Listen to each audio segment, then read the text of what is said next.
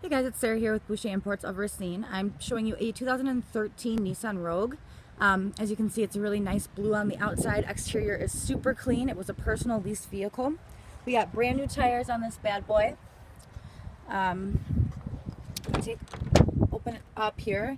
You've got uh, power windows and locks. Really clean interior. I hop on in here. You can see you've got the cruise control function on the wheel this is your interface. You've got FM, AM, CD, iPad, and auxiliary um, ports. Climate control is down there. You've got a uh, 12 volt charging port, and it is an automatic transmission.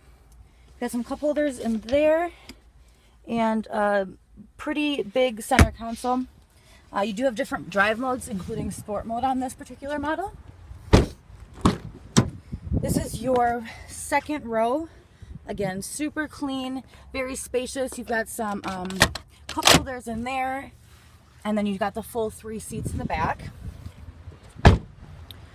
It is an all-wheel drive vehicle, which makes it really nifty for Wisconsin. This is your trunk space. You have the 60-40 splits, so those two seats will fold down flat if you needed the extra space. Pretty high lift gate here, and then underneath You've got some extra storage compartments down there. This one does come with a cargo cover to protect your belongings in the trunk. It is priced to sell. It has super low miles for a 13. Um, if this is something that interests you, don't hesitate to call me at 262 886 2886. Thank you.